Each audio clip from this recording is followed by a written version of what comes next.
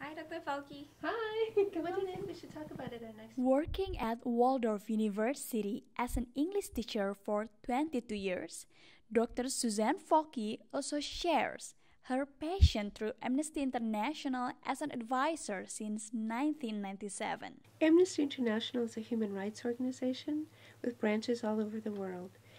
The purpose of the group is to seek justice. Many cases that Amnesty deals with have to do with um, capital punishment, with ethnic cleansing, with um, discrimination against women and girls. A few events have been organized by Amnesty International Waldorf University. Last year, we hosted a chapel about human trafficking, and we marched around the campus to uh, give voice to that issue.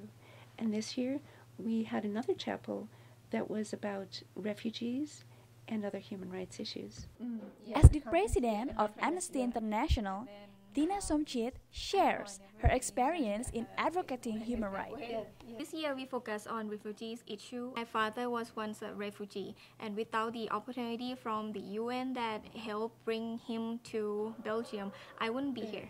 You know, one in three African American men go. Stanislaw Zawiza has been an active member of Amnesty International and participating in the following events. Many people don't realize that the violations of human rights happen all the time. The more people get educated about human rights, the easier it is to prevent mistreatments and atrocities. Part of the way that we can help to stop these problems is to spread the word that these are important issues that we need to learn more about. And there is hope. Dina Salviana, WalTV.